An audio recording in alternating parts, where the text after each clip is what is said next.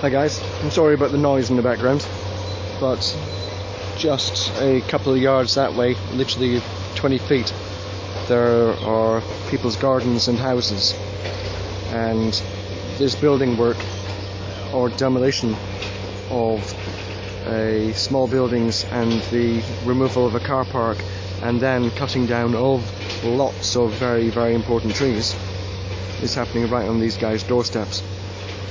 Uh, I'm stood uh, maybe 10 foot short, uh, 20 foot short maybe of the fence deliberately so I can speak here. It's just too noisy up there. And you see how dense this woodland is.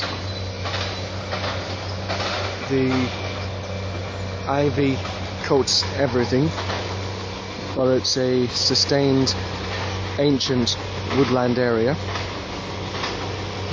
and if I pan a little further to the right you'll start seeing yellow paint on trees. And these ones here and over here and this one here. They're all trees are marked to get cut down. This area is inhabited by great crested newts by pipistrelle bats by foxes by lots and lots of wildlife there are terrapin type uh, tortoise things in the lakes nearby, and the building company are ignoring the orders put down on trees to preserve them. If they're ignoring the trees and they're a very visible thing that suddenly go missing, are they going to give a damn about a bat that might be living in it? Are they going to give a damn about a great crested newt or other uh, types of wildlife in the area. The pipistrelle bat, I believe, is the smallest bat in Britain. It's the smallest bat in Europe. It's also the smallest mammal in Europe. It is endangered. These guys don't give a hoot.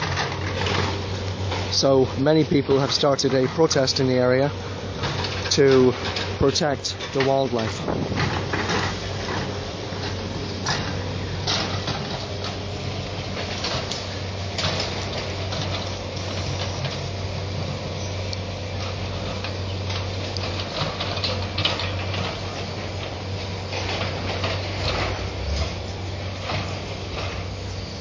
You see that fence being removed.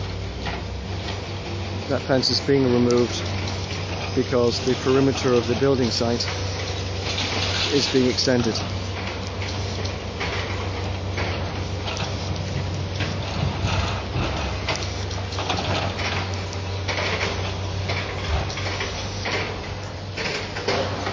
The whole building area here is going to get extended straight through these trees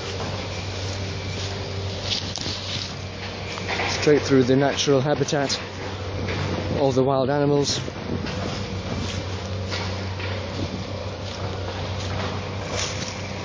Right. This tree here, you see the yellow paint on it marked for getting cut down. There may well be a tree preservation order on it.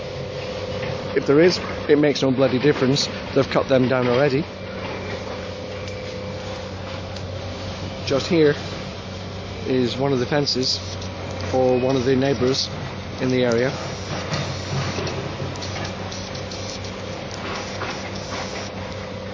And that's how close the building site is going to get when people have bought these houses because this extensive woodland is their backyard. Uh, we need help here. If anybody can come down and give a hand to these locals and empower them, show them how to look after their own rights and the rights of the area around about them and each other, how to look after the concerns that the building company are causing, you would have an awful lot of very grateful people. Thank you very much for watching.